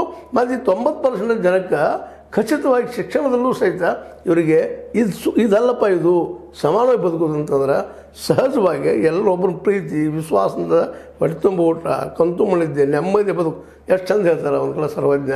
ಸುಖ ಅಂದ್ರೆ ಏನಪ್ಪ? ಅದ್ರ ಬಗ್ಗೆ ಒಂದು ಸಣ್ಣ ಒಂದು ತ್ರಿಪದಿಯಲ್ಲಿ ಹೇಳ್ಬಿಡ್ತಾರೆ ಅವರು. ಇದು ನೀವು ಕೇಳಿದ್ದೇನೆ ಅದು. ಆದರೂ ಒಂದು ರಿಪೀಟ್ ಮಾಡ್ತಾ ಇರ್ತೀನಿ. ಏನಪ್ಪ ಅಂದರೆ ವಿಶೇಷವಾಗಿ ಹೇಳುವಂಥ ಸರ್ವಜ್ಞನ ಈ ಪದದಲ್ಲಿ ಬೆಚ್ಚನ ಮನೆಯಾಗಿ ವೆಚ್ಚಕ್ಕೆ ಹೊನ್ನಾಗಿ ಬೆಚ್ಚನ ಮನೆಯಾಗಿ ವೆಚ್ಚಕ್ಕೆ ಹೊನ್ನಾಗಿ ಇಚ್ಛೆಯನ್ನರಿ ವಸತಿ ಇರ್ದುಡೆ ಸ್ವರ್ಗಕ್ಕೆ ಕಿಚ್ಚು ಹಚ್ಚಂತ ಸರ್ವಜ್ಞ. ಬಸ್, ಇಷ್ಟ ಬದುಕು. ಯಾಕಂದ್ರೆ ನಮ್ಮನೊಳಗೆ ನಮ್ಮ ಮಕ್ಕಳು ಬೇಕು. ನಮ್ಮ ಮಕ್ಕಳೊಳಗೆ ಅವ್ರಿಗೆ ಮರಿಮಕ್ಕಳು ಮೊಮ್ಮಕ್ಕಳು ಮರಿಮಕ್ಕಳು ಬೇಕು. ನಮ್ಮ ನಾವು ಉಳಿಸ್ಕೊಂಡು, ಬೆಳೆಸ್ಕೊಂಡು ಹೋಗುವಂಥ ಒಂದು ಕ್ರಿಯೆ ಇದೆಯಲ್ಲ ಇದಕ್ಕಾಗಿ ಒಂದು ಮನೆ, ಒಂದು ನೆಮ್ಮದಿ, ಒಂದು ಏನಪ್ಪ ಅಂದ್ರೆ ಕುಟುಂಬ ಇದನ್ನು ನಾವು ಮಾಡ್ಕೊಂಡಂಥವ್ರು ಇಷ್ಟನ್ನು ನಾವು ತಿಳ್ಕೊಂಡು ನಮ್ಮ ಕುಟುಂಬಕ್ಕೆ ಮತ್ತು ನಮ್ಮ ಮಕ್ಕಳಿಗೆ ಶಿಕ್ಷಣ ಸಿಕ್ಕರೆ ನಾವು ನೆಮ್ಮದಿ ಇರ್ಬೋದು ಅನ್ನುವಂಥ ಒಂದು ಸಾಮಾನ್ಯ ಜ್ಞಾನವನ್ನು ಸಹಿತ ನಾವು ಮರೆತು ಬಿಟ್ವಿ ಇಲ್ಲ, ಸುಖ ಇಲ್ಲಿಲ್ಲ. ನಿದ್ದೆ, ನಿದ್ದಿ ಗುದ್ದ ಒಳಗೆ ಗಾಯ ಮೇಲೆ ಬರೋದಿಲ್ಲ ದನದ್ರೆ ದುಡಿದ್ರೆ ನಿದ್ದೆ ನಿಶ್ಚಿತವಾಗಿ ಬರ್ತದೆ. ಆದರೆ ನಾವು ಗಾದಿಯನ್ನು ಮಾಡಿದೆವು, ಮತ್ತೇನು ಮಾಡಿದೆವು? ಲಕ್ಸುರಿಯಸ್ ಲೈಫ್ ತಿಳ್ಕೊಂಡ್ವಿ ಅದ್ರ ಜೊತೆಗೆ ಸಾರ ಎಲ್ಲ ತಿಳ್ಕೊಂಡು ಇದು ಅಭಿವೃದ್ಧಿ ನಮ್ಮದು ಕಾರ್ ಗಾಡಿಯಲ್ಲಿ ಅಡ್, ಅಡ್ಡಾಡೋದು ಅಭಿವೃದ್ಧಿ. ಹಿಂಗೆಲ್ಲ ಶುರು ಮಾಡಿ. ಇವತ್ತು ನಾವು ಅಭಿವೃದ್ಧಿ ಡೆಫಿನೇಷನ್ ಬೇರೆ ಮಾಡ್ಕೊಂಡ್ವಿ ಇದನ್ನು ಅರ್ಥ ಮಾಡ್ಕೊಳ್ಳೋಂಥ ಯುರೋಪಿಯನ್ ನಮ್ಗೆ ಏನು ಮಾಡಿರಪ್ಪ ಅಂದ್ರೆ, ಈ ಥರ್ಡ್ ವರ್ಲ್ಡ್ ಕಂಟ್ರಿ ಮೂರನೇ ಜಗತ್ತಿನ ಜನಕ್ಕೆ ಏನು ಮಾಡಿರಪ್ಪ ಅಂದ್ರೆ ಅವ್ರೊಳಗೆ ಯುದ್ಧಗಳನ್ನ ಹಚ್ಚಿದ್ರು ವಿಮಾನ ತಯಾರು ಮಾಡಿ ಇವ್ರಿಗೆ ಮಾರಿದ್ರು, ಗುಂಡುಗಳು ತಯಾರು ಮಾಡಿ ಇವ್ರಿಗೆ ಮಾರಿದ್ರು, ಅವ್ರಿಗೆ ಆರಾಮಾಗಿ ದುಡ್ಡು ಬರ್ತಾ ಇತ್ತು. ಅದರಲ್ಲಿ ಅವ್ರು ಮಜಾ ಉಡಿಸ್ತಾ ಇದ್ರು. ಮಜಾ ಉಡಾಯಿಸ, ಇದಪ್ಪ ಅಭಿವೃದ್ಧಿ ಅಂತ ಹೇಳುವಂಥ ಒಂದು ಒಂದು ಪರಿಕಲ್ಪನೆ ತಯಾರು ಮಾಡಿದರು. ಹೀಗಾಗಿ ಜಗತ್ತಲ್ಲಿ ಒಂದು ಕಡೆ ಅಂಥ ಜನ ಆಗಿಬಿಟ್ರು, ಇನ್ನೊಂದು ಕಡೆ ಊಟಕ್ಕೆ ಸೇರಿದ ಪಿರಿಯಾಗಿ ಅಡ್ಡಾಡುವಂಥದ್ದು ಭಿಕ್ಷೆ ಇಡುವಂಥ ಪರಿಸ್ಥಿತಿ, ನಮ್ಮ ಹೊಟ್ಟೆಂತ ತುಂಬಿಸ್ಕೊಳ್ಳಾರದ ಪರಿಸ್ಥಿತಿ ಬಂದಿದ್ದಿತ್ತು. ಈ ಜನ ಒಂದು ಕಡೆ ಆಗಿಬಿಟ್ರು. ಈ ಒಂದು ಸಿದ್ಧಾಂತ ನಾವು ಇವತ್ತು ಬಂದಿದ್ದೀವಿ. ಇವತ್ತು ನಾವು ಗಾಂಧೀಜಿ ಅವ್ರ ಬಗ್ಗೆ ಏನಾದರೂ ಮಾತಾಡ್ರೆ ಅವರ ವಿಚಾರಗಳ ಬಗ್ಗೆ ನಾವೇನು ಮಾತಾಡಲಿಕ್ಕೆ ಹೊರಟ್ರೆ ಜನ ಅಂತಾರೆ ಇವೇ ಮೂರ್ಖ ಜನಪ್ಪ ಇವನಿಗೆ ಅಂತ. ಇವತ್ತು ಈ ರೀತಿ ಇದ್ದಾರಪ್ಪ ಪ್ರಾಮಾಣಿಕವಾಗಿ ಬದುಕಬೇಕಪ್ಪ. ಭ್ರಷ್ಟಾಚಾರ ಆಗಬಾರ್ದು ನಾವು ಹೇಳಿದ್ರೆ ಏನು ತಿಳ್ಕೊತಾರಪ್ಪ ಅಂತಂದ್ರೆ, ಇವನಿಗೆ ತುಳು ಮಾಡ್ಲಿಕ್ಕೆ ಬರೋದಿಲ್ಲ ಅದಕ್ಕೆ ಪ್ರಾಮಾಣಿಕತೆ ಬಗ್ಗೆ ಮಾತಾಡ್ತಾನೆ ಇವನು ಅಂತ ಹೇಳ್ತಾರೆ. ಅಂದ್ರೆ ಈ ರೀತಿ ನಾವು ಮೆಂಟಲ್ ಬೆಳೆಸಿಬಿಟ್ಟಿವಿ ಇಲ್ಲಿ. ಇವನು ದೊಡ್ಡ ವ್ಯವಸ್ಥಿತವಾದ ಪಿತೂರಿ ಅದ್ರ ಇಲ್ಲೆಲ್ಲ ಯಾ, ಈ ಬುದ್ಧಿವಂತ ವರ್ಗದವರು ತಾವು ಸಮಾಧಾನವಾಗಿ ತಮಗೆ ಆರಾಮಿ ಜೀವನ ಮಾಡೋ ಸಲುವಾಗಿ ಇಂಥ ಅನೇಕ ಭ್ರಮೆಗಳನ್ನ ಸೃಷ್ಟಿ ಮಾಡಿ, ಮತ್ತು ಮ್ಯಾಕ್ಸಿಮಮ್ ಈ ದೇಶದ ಜನರಿಗೆ ಅಥವಾ ಥರ್ಡ್ ವರ್ಲ್ಡ್ ಕಂಟ್ರಿ ಜನರಿಗೆ. ಥರ್ಡ್ ವರ್ಲ್ಡ್ ಅಂದರೆ ಬಡತನದ ಇರುವಂಥ ಪ್ರತಿಯೊಂದು ದೇಶ. ಆಫ್ರಿಕಾ ಖಂಡದ್ದು ಇರ್ಬೋದು ಏಷ್ಯಾ ಖಂಡದ್ದು ಇರ್ಬೋದು. ಏಷ್ಯಾ ಖಂಡದಲ್ಲಿ ನಾವು ಬರ್ತೀವಿ. ವಿಶೇಷವಾಗಿ ಒಂದು ನಾವು ಆರು ಖಂಡಗಳನ್ನ ಮಾಡ್ತೀವಿ. ಅಲ್ಲಿ ಎಲ್ಲ ಬಡವರು. ಏನಪ್ಪ ಅಂತಂದರೆ ವಿಶೇಷವಾಗಿ ಏನಪ್ಪ? ಈ ಒಂದು ಕಲ್ಪನೆಯಲ್ಲಿ ಇದ್ದೀವಿ ನಾವು. ಅದಕ್ಕೆ ಅದು ಆಗಲಿಲ್ಲ ಅಂದಾಗ, ಅದು ನಮಗೆ ನೆರವೇರಲಿಲ್ಲ ಅಂದಾಗ ನಾವು ಬದಿಯವ್ರ ಜೋಡಿ ಯುದ್ಧ ಮಾಡೋಕ್ಕೆ ಹೋಗ್ತೀವಿ ಮತ್ತೆ ಮಾಡೋಕ್ಕೆ ಶುರು ಮಾಡ್ತೀವಿ ಜಾತಿ ಹೆಸರಲ್ಲೇ, ಭಾಷೆ ಹೆಸರಲ್ಲೇ, ಧರ್ಮದ ಹೆಸರಲ್ಲೇ ನಾವು ಯುದ್ಧ ಮಾಡ್ತಾ ಯುದ್ಧ ಮಾಡ್ತಾ ಒಬ್ಬರೊಬ್ಬರ ಧಿಕ್ಕಾರ ಮಾಡ್ತಾ ಹೋಗೋದ್ರಿಂದಾಗೆ ನಮಗೆ ಈ ಒಂದು ಹೊಟ್ಟೆ ಕಿಚ್ಚನ ಉಪಯೋಗ ತೆಗೆದುಕೊಳ್ಳುವಂಥ ಈ ಜನ ನಮಗೆ ಬಂದೂಕು ಮಾರು, ಮತ್ತೇನೋ ಮಾರು, ನಮ್ಮನ್ನು ಬಡತನ ತಳ್ತಾರೆ ಒಂದು ದೊಡ್ಡ ವಾದ ಅದು ವಾದ ಅಲ್ಲ ಸತ್ಯನೂ. ಅದಕ್ಕಾಗಿ ಗಾಂಧೀಜಿಯವರು ಇದನ್ನೆಲ್ಲ ಬಿಟ್ಟು ಶಾಂತಿಯಿಂದ ಇರುವಂಥದ್ದು ಅದರಲ್ಲೂ ಮುಖ್ಯವಾಗಿ decentralise of the power ಅಂತ ಅನ್ನುವಂಥದ್ದು. ಅಧಿಕಾರ ವಿಕೇಂದ್ರೀಕರಣ ಆಗಬೇಕು, ಪ್ರತಿಯೊಂದು ಹಳ್ಳಿಯಲ್ಲೂ ಜಿಲ್ಲೆ ಆಗಬೇಕು, ರಾಜ್ಯ ಆಳಬೇಕು ಅನ್ನುವಂಥ ಮಾತನ್ನು ಮಾತಾಡ್ತಾ ಇದ್ರು. ಅದು ನಾವು ಇಂದಿಗೂ ಅರ್ಥ ಮಾಡ್ಕೊಂಡಿಲ್ಲರಿ ಅದನ್ನು. ಪಂಚಾಯತ್ ರಾಜಮಲ್ಲಿ ಮೇಲೆ ಘೋಷಣೆ ಮಾಡಿದ್ವಿ ಪಂಚಾಯತಿಯನ್ನು ರಚನೆ ಮಾಡಿದ್ವಿ. ಆದರೆ ಇವತ್ತು ಸಹಿತ ಅಲ್ಲಿ ಲಂಚ ಅವತಾರ ಜೋರದ ಯಾಕಪ್ಪ ಅಂದ್ರೆ ಒಂದು ದಿಲ್ಲಿಯಲ್ಲಿ ಶುರುವಾಗುವಂಥ ಲಂಚ, ಒಂದು ಪಾರ್ಲಿಮೆಂಟಿಂದ ಶುರುವಾಗುವಂಥ ಲಂಚ ಎಲ್ಲ ಹಳ್ಳಿ ಹಳ್ಳಿಗಳಿಗೆ, ತಾಲೂಕು ತಾಲೂಕುಗಳಿಗೆ, ಜಿಲ್ಲೆಗಳಿಗೆ, ಎಲ್ಲ ಕಡೆ ಹಬ್ಬಿದ್ದರಿಂದಾಗೆ ಇವತ್ತು ನಮ್ಮ ಡೆವಲಪ್ಮೆಂಟ್ ವ್ಯಾಖ್ಯಾನ ಏನಾಗ್ಯದಪ್ಪ ಅಂತಂದ್ರೆ ಇದಪ್ಪ ನಮ್ಮದು ಕೊನೆಗೆ ನೀಗಲಿಲ್ಲ ಅಂದಾಗ, ಡೆವಲಪ್ಮೆಂಟ್ ಮಾಡೋಕೆ ಆಗಲಿಲ್ಲ, ಎಲ್ಲರಿಗೂ ಶಿಕ್ಷಣ ಕೊಡೋಕ್ಕೆ ಸಾಧ್ಯ ಇಲ್ಲ ಅಂದಾಗ ಮತ್ತು ಬೇರೆ ಬೇರೆ ಆಗಿಲ್ಲ ಅಂತ. ಈಗ ಎಲ್ಲರಿಗೂ ಶಿಕ್ಷಣಕ್ಕೆ ಕೊಟ್ಟಿದ್ದಪ್ಪ ಅಂದ್ರೆ ಖರ್ಚು ಆಗ್ತದೆ. ಟ್ಯಾಕ್ಸ್ ದುಡ್ಡಲ್ಲಿ ವೇಸ್ಟ್ ವೇಸ್ಟಾಗಿ ಹೋಗಿಬಿಡ್ತದೆ. ಮತ್ತು ನಮ್ಮ ನೆಮ್ಮದಿಗೆ ನಾವು ಬೆಳೆದಕ್ಕೆ ಆಸ್ಪತ್ರೆ ಇಲ್ದಂಗೆ ಆಗ್ತದೆ. ಅದಕ್ಕಾಗಿ ಇದನ್ನ ಎಲ್ಲರೂ ಶಿಕ್ಷಣ ಕೊಡೋದು ಬೇಡಪ್ಪ ಅನ್ನೋದು ನಿರ್ಧಾರಕ್ಕೆ ಬಂದ ಕೆಲವೇ ಕೆಲವು ಜನ. ಆವತ್ತು ನಿಮಗೆ ಗೊತ್ತದ ಒಂದು ಕಾಲಕ್ಕೆ? ಜಾತಿ ನೆಲಗಟ್ಟಿನಲ್ಲೇ, ಧರ್ಮದ ಅದರಲ್ಲೂ ಜಾತಿ ನೆಲಗಟ್ಟಿನಲ್ಲೇ.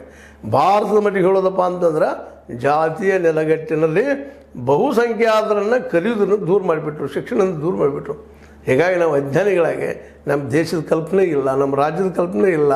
ಅದೇ ಕಾಲಕ್ಕೆ ನಾವು ಏನು ಅಭಿವೃದ್ಧಿ ಅಂದ್ರೆ ನಮಗೆ ಗೊತ್ತಿಲ್ಲ. ಅಭಿವೃದ್ಧಿ ಅಂದ್ರೆ ನಮಗೆ ಸಾರಾಯಿ ಕುಡಿಯೋದಕ್ಕೆ, ತುಂಡು ತಿನ್ನೋದು ಕೊಟ್ಟು ಅದೇ ಅಭಿವೃದ್ಧಿ. ಈ ಮಟ್ಟಿಗೆ ಶರೀರ ಸೇದೋಕೆ ಅನುಕೂಲ ಮಾಡಿಕೊಟ್ಟು ಅದರ ಅಭಿವೃದ್ಧಿ ಅನ್ನುವಂಥ ಮನಸ್ಥಿತಿಗಳು ಬೆಳೆದ್ಬಿಟ್ಟಿವೆ ಇವತ್ತು. ಇವತ್ತು ನೋಡಿರಿ, ಪಾರ್ಟಿ ಮಾಡೋದಂತ ಒಂದು ಸಾಮಾನ್ಯವಾಗಿ ಎಲ್ಲರೂ ಮಾತಾಡ್ತಾ ಇರ್ತಾರೆ. ನೀವು ಕೇಳ್ತೀರಿ ಪಾರ್ಟಿ ಅಂದ್ರೆ ಏನು ಅದರಲ್ಲೇ ಪಾರ್ಟಿ ಅಂದ್ರೆ ಕುಶಲೋಪರಿ ಕೇಳ್ಕೊಳ್ಳೋದ, ಬದುಕಿಗೆ ಹೆಲ್ಪ್ ಮಾಡ್ಕೊಳ್ಳೋದು ಏನು ಮಾತಾಡೋದ, ಅದು ಒಳ್ಳೆ ಲೈಫ್ನ ಹೆಂಗೆ ಮಾಡ್ಬೇಕು ಅನ್ನೋದು ಮಾತಾಡೋದ, ನಾವು ಸಜ್ಜನ ನಮ್ಮ ರೋಗ ಬರದಂಗೆ ಇರಬೇಕು ಅನ್ನೋದಕ್ಕಾಗಿ ಮಾತಾಡೋದ? ಇಲ್ಲ. ಪಾರ್ಟಿ ಅಂದ್ರೆ ಹೋಗೋದು, ಕಂಡ ತುಂಡ ಇರ್ತದೆ, ಸೇವನೆ ಮಾಡೋದು, ಖುಷಿ ಮಾಡೋದು, ಜಗದಾಡೋದು ಬೆಳತನ ನಿದ್ದೆಗಿಡೋದು ಬೆಳಗ್ಗೆ ಮುಂಜಾನೆ ಹತ್ತರಂಗೆ ಬಂದು ಬಿಡೋದಿಲ್ಲ ನಮ್ಮ ಪಾರ್ಟಿ. ಈ ಪಾರ್ಟಿ ಡೆಫಿನೇಷನ್ ಅದ ಅಭಿವೃದ್ಧಿ ಡೆಫಿನೇಷನ್ ತಪ್ಪಾಗಿ ಹೋಗ್ಯದ ಏ ಕಾಲಡಿ ಎಂತ ಉಪಯೋಗ ಮಾಡೋದು ನಾವು ಶ್ರೀಮಂತಪ್ಪ? ಹೌದು ಕಾಲಡಿ ದೊಡ್ಡ ಉಪಯೋಗ ಶ್ರೀಮಂತರು ಅದೇನು ಸುಳ್ಳೇನಲ್ಲ. ಆದರೆ ಅದನ್ನು ನೀವು ಕೊಡೋ ಸಲುವಾಗಿ ಸಾಲಗಾರ ಆಗುವಂಥದ್ದು, ಮತ್ತೇನೋ ಹೋಗುವಂಥದ್ದು ಅದಕ್ಕೆ ಉತ್ಪನ್ನ ಮಾಡುವಂಥ ಶಕ್ತಿ ನಮ್ಮಲ್ಲಿ ಇಲ್ಲದೆ ಹೋಗುವಂಥದ್ದು. ಇದು ಉತ್ಪನ್ನ ಮಾಡೋ ಶಕ್ತಿ ಕ್ರಿಯೇಟ್ ಮಾಡೋದು ಯಾವುದಾ? ಶಿಕ್ಷಣ. ಅದನ್ನು ನಾವು ಇವತ್ತು ಯಶಸ್ವಿಯಾಗಿ ನಿರ್ವಹಿಸಿಲ್ಲ.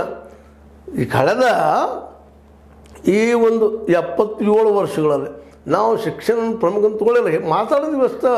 ಅದಕ್ಕೆ ಖರ್ಚು ಮಾಡೋದು ಎಷ್ಟು ಅದಕ್ಕೆ? ಒಂದು ಸ್ವಲ್ಪ ನೆಹರೂಜಿ ಅವರಿಂದ, ಇಂದಿರಾಜಿ ಇಂದಿರಾಜಿ ಅವರಿಂದ, ರಾಜೀವ್ ಗಾಂಧಿಯವರೆಗೆ ಶೇಕಡ ಮೂರರಷ್ಟು ಭಾಳ ಕಡಿಮೆ ನಾವು ಖರ್ಚು ಮಾಡ್ತಿದ್ರು. ಅದಂದ್ರೆ ಇಳಿತಾ ಇದ್ದ ಬಂದು ಇವತ್ತು. ಒಂದೂವರೆನೋ ಎರಡು ಭಾಳ ಆಯ್ತು ಎರಡು ಇವತ್ತು. ಆ ಹಂತಕ್ಕೆ ಬಂದಿರ್ತದೆ. ಹೋಗಲಿ, ಮೋದಿಯವ್ರು ಏನೋ ದೊಡ್ಡ ಪರಿವರ್ತನೆ ಮಾಡೋದಂತ ಬಂದರು. ಹೊಸ ವ್ಯವಸ್ಥೆ ತರ್ತಂತ ಬಂದರು. ಏನೇನೋ ಮಾತಾಡಿದರು. ಅಭಿವೃದ್ಧಿ ಬಗ್ಗೆ ಅವರು ಸಹ ಶಿಕ್ಷಣದ ಬಗ್ಗೆ ಪ್ರಿಫರೆನ್ಸ್ ಕೊಡಲಿಲ್ಲ. ಹೀಗಾಗಿ ಗಾಂಧೀಜಿಯವರು ಅವ್ರ ಜೊತೆಗೆ ಅಂಬೇಡ್ಕರ್ ಅವರು. ಅಂಬೇಡ್ಕರ್ ಅವ್ರ ಕೆಲವೊಂದು ದೋಷಗಳು ಇರ್ಬೋದು. ಇಲ್ಲ ಅಂತಲ್ಲ ಯಾಕಂದ್ರೆ ಅವರು ತಮ್ಮ ಒಂದು ಜಾತಿ ಜನಕ್ಕೆ ಆದಂಥ ಅನ್ಯಾಯಕ್ಕೆ ಒಂದು ನ್ಯಾಯ ಒದಗಿಸಲು ಹೋರಾಟ ಇತ್ತು ಅವರು ಆದರೆ ಒಂದು ಮಾತು ನೆನಪಿಡುವಂಥ ನಾವೆಲ್ಲರೂ ಏನಪ್ಪ ಅಂದ್ರೆ, ಈ ದಲಿತ, ಹಿಂದುಳಿದ, ಮುಂದೆ ಅದೇ ಕಾಲಕ್ಕೆ ಮೈನಾರಿಟಿ ಆಗಿರ್ಬೋದು, ಅತಿ ಹಿಂದುಳಿದವರಾಗಿರ್ಬೋದು ಒ ಬಿ ಸಿಗಳಾಗಿರ್ಬೋದು, ಇವರು ಈ ದೇಶದ ಅತ್ಯಂತ ಹಿಂದುಳಿದ ಬಡ ಜನರು ಅನ್ನೋದ್ರೆ ಎರಡು ಮಾತಿಲ್ಲ. ಅದು ಸತ್ಯನ. ಅವ್ರ ಸಲುವಾಗಿ ಅವರು ಒಂದು ದೊಡ್ಡ ಮೂಮೆಂಟನ್ನು ಮಾಡಿದರು. ಅದರಲ್ಲಿ ಸ್ವಲ್ಪ ಏನೋ ಮಿಸ್ಟೇಕ್ಸ್ ಆಗಿರ್ಬೋದು. ಬಟ್ ಅವರು ಸಹಿತ ಭಾಳ ಪ್ರಿಫರೆನ್ಸ್ ಇಟ್ಟಿದ್ದು ಫಸ್ಟ್ ಪ್ರಿಫರೆನ್ಸ್ ಇಟ್ಟಿದ್ದು ಶಿಕ್ಷಣ. ಗಾಂಧೀಜಿಯವರು ಶಿಕ್ಷಣ ಬಗ್ಗೆನೇ ಹೇಳ್ತಾ ಇದ್ದರು ಪ್ರತಿಯೊಂದು ಕೂಡ ಶಿಕ್ಷಣ ಇರಬೇಕು ಪ್ರತಿಯೊಬ್ಬ ಶಿಕ್ಷಿತನಾಗಬೇಕು ಅನ್ನುವಂಥ ಮಾತನ್ನು. ನಾವು ಅದನ್ನು ಇವತ್ತಿಗೂ ಸಹಿತ ದಾದ ಮಾಡಿಲ್ಲ. ಅದಕ್ಕೆ ಇವತ್ತು ನಮ್ಮೆಲ್ಲ ಈ ಬಡತನಕ್ಕೆ ನಿರುದ್ಯೋಗಕ್ಕೆ ಬೆಲೆ ಏರಿಕೆಗೆ ಇಂಥ ರಾಜಕಾರಣಿಗಳನ್ನ ಆಯ್ಕೆ ಮಾಡೋದಕ್ಕೆ ನಮ್ಮ ಅಧ್ಯಯನ ಕಾರಣ. ಯಾಕಂದ್ರೆ ನಮ್ಮಲ್ಲಿ ಸುಜ್ಞಾನ ಇತ್ತಂದ್ರೆ, ನಾವು ಶಿಕ್ಷಿತರಾಗಿದ್ದು ಅಂದ್ರೆ ಇಂತಹ ಏನಪ್ಪ, ದುಡ್ಡು ಹಂಚುವವ್ರನ್ನ, ಸೆರೆ ಹಂಚಿ ಆಯ್ಕೆ ಆಗುವಂಥವ್ರನ್ನ ಹಾಂ ಈ ಆಯ್ಕೆ ಆದಮೇಲೆ ಗುಡ್ಡಗಳನ್ನು ಕಡಿದು ಮಾರುವಂಥವ್ರನ್ನ, ಸಾರಾಯಿ ಕುಡಿದು ಹಚ್ಚಿ ದೇಶವನ್ನು ಹಾಳು ಮಾಡುವಂಥವ್ರನ್ನ ನಾವೆಂದೂ ನಾಯಕರನ್ನಾಗಿ ಸ್ವೀಕಾರ ಮಾಡ್ತಾ ಇರಲಿಲ್ಲ. ಈ ಸಂದರ್ಭವಾಗಿ ಕಠೋರ, ಅತ್ಯಂತ ಕಠೋರವಾಗಿ ಮಾತನ್ನು ಹೇಳಬೇಕಾಗ್ಯದ ಯಾಕಪ್ಪ ಅಂತಂದ್ರೆ ಇಲ್ಲಿವರೆಗೆ ಆಗಿದ್ದು ಇದು ಒಂದ. ಗೆಲ್ಲು ಸಲುವಾಗಿ ಯಾವುದೇ ಹಾದಿ ಆದರೂ ಹಿಡಿಯುವಂಥದ್ದು. ಇದು ಇವ ಇವತ್ತಿನ ಮೋದಿಯವರೆಗಿನ ಎಲ್ಲ ನಾಯಕರಲ್ಲಿ ಇದೇ ಕಂಡು ಬರ್ತಾ ಇದೆ. ಅದಕ್ಕಾಗಿ ಗಾಂಧೀಜಿಯವರು ಲಾಂಗ್ ಮಾರ್ಚ್ ಮಾಡಿ ಇದಕ್ಕೆಲ್ಲ ಒಂದು ಪರಿಹಾರ ಹುಡುಕಾಡಿದ್ರು ಅವರು ಇಲ್ಲ, ಇಲ್ಲಿ ಬಡವರಿಗೆ ಏನು ಮಾಡಬೇಕಪ್ಪ? ಯಾವ ರೀತಿ ಇರಬೇಕು? ಅಂದಾಗ ಗ್ರಾಮಗಳ ಸ್ವತಂತ್ರವಾಗಿ ನಿಲ್ಲಬೇಕು. ಮತ್ತು ಪ್ರತಿ ಗ್ರಾಮದಲ್ಲೂ ಸಾರಾಯಿ ನಿಷೇಧ ಆಗಬೇಕಂತ. ನಮ್ಮಲ್ಲಿ ಕ್ರಿಯೇಟಿವಿಟಿಯನ್ನು ಹಾಳು ಮಾಡ್ತದದು ಅಂತೇಳಿ. ಇದನ್ನು ಟಿಪ್ಪು ಸುಲ್ತಾನ್ ಸರಿಯಾಗಿ ಅರ್ಥ ಮಾಡ್ಕೊಂಡಿದ್ರು. ಇದನ್ನು ಶಿವಾಜಿ ಅವರು ಅರ್ಥ ಮಾಡ್ಕೊಂಡಿದ್ರು. ಹೀಗಾಗಿ ತಮ್ಮ ರಾಜ್ಯಗಳಲ್ಲಿ ಇದನ್ನು ವರ್ಚ್ ಮಾಡಿದ್ರು, ನಿಷೇಧ ಮಾಡಿದ್ರು. ನಮಗೆ ಇವತ್ತಿಗೂ ಅದು ಅರ್ಥ ಆಗ- ಆಗಲಿಕ್ಕೆ ಇಲ್ಲ ಏ, ಇಲ್ರಿ. ಸಾರಾಯಿ ಬ್ಯಾನ್ ಮಾಡಬಾರ್ದು. ಯಾಕಂದ್ರೆ ನಾವು ಇನ್ಕಮ್ ಕೊಡ್ತೈತ್ರಿ ಅಂತ ಆದ್ರೆ ಇನ್ಕಮ್ ಕೊಡುವಂಥ ಪದಾರ್ಥ ಎಷ್ಟು ಇನ್ಕಮನ್ನು ಹಾಳು ಮಾಡ್ತದೆ, ಎಷ್ಟು ಜನರ ಮಾನಸಿಕ ಹಾಳು ಮಾಡ್ತದೆ, ಎಷ್ಟು ಕುಟುಂಬಗಳ ಅವರ ಒಂದು ಏನಪ್ಪ ಅಂದ್ರೆ ಅಸ್ತಿತ್ವವನ್ನು ಹಾಳು ಮಾಡ್ತದೆ. ಅನ್ನೋದನ್ನು ಅಭ್ಯಾಸ ನಾವು ಮಾಡ್ತಾ ಇಲ್ಲ, ಸರ್ವೇನೂ ಮಾಡಿಸ್ತಾ ಇಲ್ಲ ಅದನ್ನು. ಒಬ್ಬ ಏನಿದೆ ಹಾನಿ ಎಷ್ಟಾಗ್ಯದ, ಅಥವಾ ಲಾಭ ಎಷ್ಟಾಗ್ಯದ. ಒಂದಾದರೂ ಸರ್ಕಾರ ಇಲ್ಲಿವರೆಗೆ ಸರ್ವೆ ಮಾಡಿಸ್ತಾ ಇದ್ರು ಬದಲಾಗಿ. ಕೊನೆಗೆ ಬಂದು ಈಗ ಜನಸಂಖ್ಯಾ ಸರ್ವೆ ಸಹಿತ ಬಿಟ್ಬಿಟ್ಟದೆ ಈ ಸರ್ಕಾರ. ಏನದಪ್ಪ ನಾವು ವಾಸ್ತವವಾಗಿ ಏನಿದ್ದೀವಿ? ನಮ್ಮ ದೇಶದ ಪರಿಸ್ಥಿತಿ ಏನು? ಸುಮ್ಮನೆ ಹೇಳೋದು ಒಂಬತ್ತು ಕೋಟಿ ಉದ್ಯೋಗ ಕೊಟ್ಟಿವಿ. ಇಪ್ಪತ್ತೈದು ಕೋಟಿ ಬಡವರನ್ನು ಮ್ಯಾಲೆ ಇತ್ತಿದ್ವಿ ಹೆಂಗೆ ಎತ್ತಿದ್ದಾರೆ ಮೇಲೆ ಅವ್ರು ರೇಷನ್ ಕೊಟ್ಟಿವ್ರೆ. ಮುಂದೆ ಅವ್ರಿಗೆ ಏನಪ್ಪ ಅಂತಂದ್ರೆ ರೇಷನ್ ಕೊಡೋ ಜೊತೆಗೆ ಅವ್ರಿಗೆ ನೀರು ಫ್ರೀ ಕೊಟ್ಟಿವೆ. ಅದ್ರಲ್ಲಿ ನೀರಲ್ಲ, ಇದು ಲೈಟ್ ಫ್ರೀ ಕೊಟ್ಟಿವೆ. ಮತ್ತು ಅದ್ರ ಜೊತೆಗೆ ನಾವು ಏನಪ್ಪ ಅಂತಂದ್ರೆ ಇನ್ನೂ ಕೆಲವೊಂದಿಷ್ಟು ರೈತರಿಗೆ ಒಂದು ನಾಲ್ಕು ದಿನಕ್ಕೆ ಎರಡು ಸಾವಿರ ರೂಪಾಯಿ ಕೊಡ್ತೀವಿ. ಇದರಿಂದ ಅವ್ರ ಆರ್ಥಿಕ ಸ್ಥಿತಿ ಚೆನ್ನಾಗಾಗಿದೆ, ಅದಕ್ಕೆ ಅವರು ಬಡವರಲ್ಲ. ಇಂಥವೇನೇನೋ ಕಾರಣಗಳು. ಅವ್ರ ಮನೇಲಿ ಸ್ಕೂಟ್ರ್ ಐತೆ ಅದಕ್ಕೆ ಬಡವಲ್ಲ ಮೊಬೈಲ್ ಇಟ್ಕೊಳ್ಳೋದಾರೆ ಅದಕ್ಕೆ ಬಡವಲ್ಲ ಇಂಥವು ಈ ಮಲ್ಟಿ ಏನಪ್ಪ ಅಂತ ಡೈಮೆನ್ಷನಲ್ ಪಾವರ್ಟಿ ಅಂತ ಏನೋ ಹೊಸ ಕಂಡಿದ್ದಾರೆ ಅವರು. ಅದನ್ನು ಹೇಳ್ತಾ ಇದ್ದಾರೆ. ಆದರೆ ಪಾವರ್ಟಿ ಈ ದೇಶದಲ್ಲಿ ಯಾವ ಪ್ರಮಾಣದಲ್ಲಿ ಐತಪ್ಪ ಅಂದ್ರೆ ಈ ದೇಶದ ಅಸಂಘಟಿತ ಕಾರ್ಮಿಕರೆಲ್ಲ ಪೋರಣ ಅವರು ಅದ್ರ ಬಗ್ಗೆ ಯಾರೂ ಡಿಸಿಷನ್ ಅಥವಾ ಡಿಸ್ಕಷನ್ ಮಾಡ್ತಾ ಇಲ್ಲ. ಇವತ್ತು ನೋಡ್ರಿ ಇವತ್ತು ನಮ್ಮ ಮೋದಿಯವ್ರು ಯಾವ ರೀತಿ ಮಾತಾಡ್ತಾರಪ್ಪ ಅಂತಂದ್ರೆ, ಇಡೀ ನಿಮಗೆ ಜಗತ್ತಿನ ಸುಖವನ್ನು ನಿಮ್ಮ ಕೈಯಲ್ಲಿ ತಂದು ಇಡ್ತಾ ಇದ್ದೀನಿ ನಾನು. ನಾನು ಒಬ್ಬನದೇ ಸಾಧ್ಯದ ಅನ್ನುವಂಗೆ ಮಾತಾಡ್ತಾರೆ ಹೀಗೆಲ್ಲ ಹಿಂದಿನವರು ಅದನ್ನ ಮಾತಾಡಿದ್ರು, ಇವರು ಅದನ್ನ ಮಾತಾಡ್ತಾರೆ. ಮಾತಾಡೋ ಸಾಕಷ್ಟು ಆಗ್ಯದ.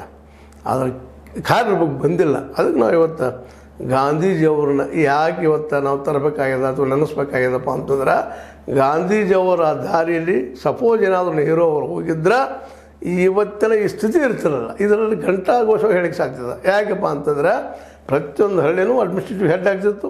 ತಮ್ಮ ಹಳ್ಳಿಗೆ ಏನು ಬೇಕು, ತಮ್ಮ ಜನಕ್ಕೆ ಏನು ಬೇಕು, ಎಂಥ ಉದ್ಯೋಗ ಕೊಟ್ಟರೆ ಅವ್ರಿಗೆ ಉದ್ಯೋಗ ಕೊಡ್ಲಿಕ್ಕೆ ಸಾಧ್ಯ ಆಗ್ತದೆ. ಶಿಕ್ಷಣ ಎಂಥದ್ದು ಬೇಕು, ಅನ್ನೋ ಸಹಿತ ಅಲ್ಲಿ ನಿರ್ಮಾಣ ಆಗ್ತಿತ್ತು, ತಯಾರಾಗ್ತಿತ್ತು. ಪ್ರತಿ ಹಳ್ಳಿನ ಒಂದು ಕಾರ್ಖಾನೆ ಆಗಿಬಿಡ್ತಿತ್ತು. ಪ್ರತಿ ಹಳ್ಳಿನೂ ಅಲ್ಲಿ ತಮ್ಮ ಅಗ್ರಿಕಲ್ಚರು ಅಗ್ರಿಕಲ್ಚರ್ ಬೇಕಂತ ಸಾಮಾನು ತಯಾರು ಮಾಡೋದು, ಅಲ್ಲಿ ಬೆಳೆಯುವಂಥ ಹಚ್ಚಿಂದ ಬಟ್ಟೆ ತಯಾರು ಮಾಡೋದು, ಅಲ್ಲಿ ಬೆಳೆಯುತ್ತಿರುವಂಥ ಇನ್ನುಳಿದ ಅನೇಕ ವ್ಯವಹಾರಗಳಿಂದ. ಇವತ್ತು ಅಭಿವೃದ್ಧಿ ಅಂದ್ರೆ ನಾವು ಬರೀ ಏನಪ್ಪ? ರೋಡ್, ಕಾರ್ ಗಾಡಿ, ಟ್ರಕ್, ಬಸ್, ರೈಲ್ವೆ, ಇವುಗಳನ್ನು ತೋರಿಸ್ತಾ ಇರ್ತೀವಿ. ಇವು ಅಭಿವೃದ್ಧಿಯಪ್ಪ ವಿಮಾನ ಅಡ್ಡಾಡೋದು ಈಗ ರೈಲ್ವೆ ಹಾ ರೋಡನ್ನು ಮಾಡಿದರು ಚೆನ್ನಾಗಾಗಿದಾವೆ ಆದರೆ ಟೋಲ್ ನಾಕ ಮಾಡಿದ್ದಾರೆ ಇವತ್ತು. ಒಂದು ಹತ್ತು ಕಿಲೋಮೀಟ್ರ್ ಹೋದಾಗ ಟೋಲ್ ಬಂದಿರುತ್ತೆ. ಹತ್ತು ಕಿಲೋಮೀಟ್ರ್ ಹೋದಾಗ ಟೋಲ್ ಬಂದಿರ್ತದೆ ನೀವೇನಾದರೂ ಇಲ್ಲಿಂದ ಬೆಂಗಳೂರಿಗೆ ಹೋಗ್ತಾರಪ್ಪ ಅಂತಂದ್ರೆ, ಎಷ್ಟು ರೊಕ್ಕ ಕಳ್ಕೊಂಡಿರ್ತೀರಿ ಅಂದ್ರೆ ಹತ್ತು ಸಲ ಬೆಂಗಳೂರಿಗೆ ಹೋಗಿ ಬರೋಷ್ಟ ನೀವು ನಿಮ್ಮ ಕಾರ್ಗಳಿಂದ ಈ ಟೋಲ್ ಲಂಕ ಕೊಟ್ಟು ಕಳ್ಕೊಂಡಿರ್ತೀರಿ. ಇದು ಡೆವಲಪ್ಮೆಂಟ್ ಅಂದ್ರೆ ಇವತ್ತಿನ ಡೆವಲಪ್ಮೆಂಟ ರೋಡ್ ಮಾಡೋದು ಟೋಲ್ ಲಂಕ ಹಾಕೋದು ಟ್ಯಾಕ್ಸ್ ವಸೂಲು ಮಾಡೋದು, ಆ ಟ್ಯಾಕ್ಸ್ದೊಳಗೆ ಅವ್ರು ಮಜಾ ಮಾಡ್ಕೊಂಡು ಹೋಗುವಂಥದ್ದು ಇಲ್ಲಿ ನೋಡ್ರಿ, ಕರ್ನಾಟಕದಲ್ಲಿ ಮೂರುವರೆ ಲಕ್ಷ ಕೋಟಿ ರೂಪಾಯಿ ಮಿನಿಮಮ್ ಇಷ್ಟು ನಮ್ಮದು ಟ್ಯಾಕ್ಸ್ ಕಲೆಕ್ಷನ್ ಆದರೂ ಸೆಂಟ್ರಲ್ ಗೌರ್ಮೆಂಟ್ ಅದ್ರ ಮಾಡ್ಕೊಂಡು ಹೋಗಿ, ಏನೋ ಒಂದಿಷ್ಟು ಕೊಡ್ತದೆ ನಮಗೆ. ಮೂವತ್ತು ಕೋಟಿ, ಮೂವತ್ತು ಸಾವಿರ ಕೋಟಿ, ಐವತ್ತು ಸಾವಿರ ಕೋಟಿ ಕೊಡ್ತದೆ. ಅದರಿಂದ ಏನು ಆಗೋದು ರಾಜ್ಯದ್ದು? ನಾವು ಕೊಡ್ತೀವಿ ಟ್ಯಾಕ್ಸ್ ಎಷ್ಟು ಮೂರುವರೆಯಿಂದ ನಾಲ್ಕು ಲಕ್ಷ ಕೋಟಿ ಸ್ವತಃ ಸಿದ್ದರಾಮಯ್ಯನವ್ರು ಹೇಳಿದಂಥ ಮಾತುಗಳಿವೆಲ್ಲ.